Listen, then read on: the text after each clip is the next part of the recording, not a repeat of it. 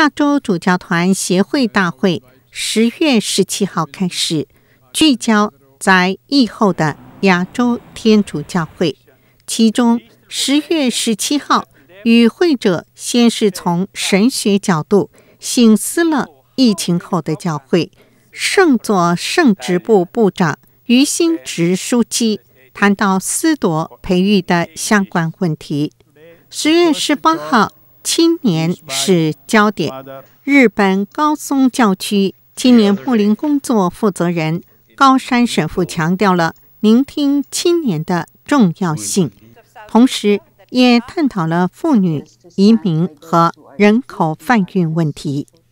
十月十九号，亚洲主教团协会大会继续分享亚洲天主教会的现况。晨祷由台湾主办，当天的主题是疫后的教会环境。与会者先谈到如何利用媒体建构一个充满信仰的相遇环境，然后台湾地区主教团主席李克勉主教特别就教宗爱的喜乐劝谕。进行演讲，他首先表示，教宗方济各在《爱的喜乐》书中提到，教会的使命就是成为战地医院，希望基督徒团体保护所有的生命，为受伤的弟兄姐妹疗伤，以爱德见证福音的精神。他指出，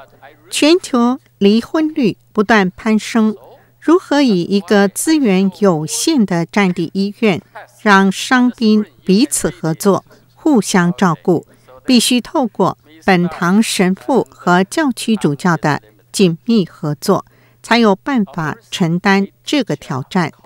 从台湾的经验，他提出三条路径，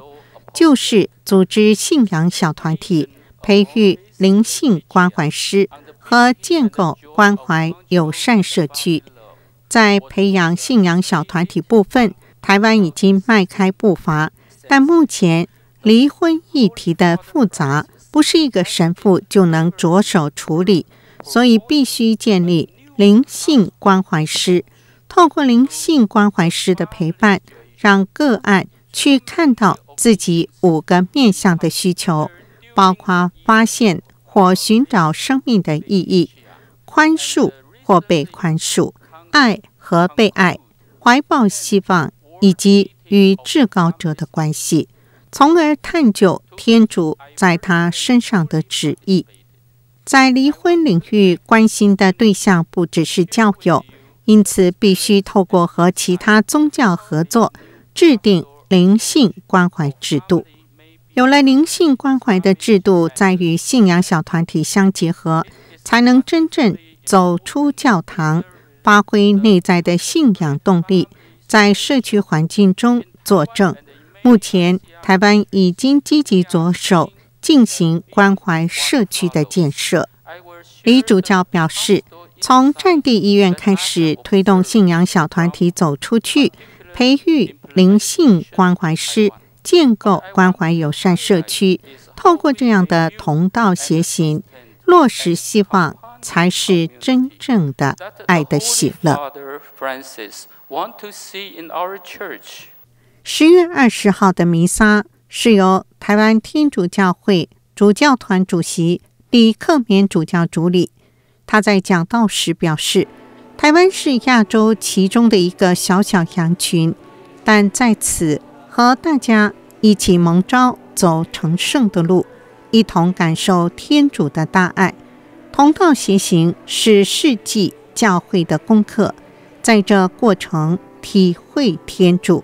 他说：“福音有如火，是一个讯息，它摧毁生活中先前的平衡，促使我们摆脱个人主义，克服自私主义，从罪恶和死亡的奴役中转向复活耶稣的新生命。”作为亚洲主教协会大家庭及共益教会的一份子，主教们在天主和天主子民面前责任重大，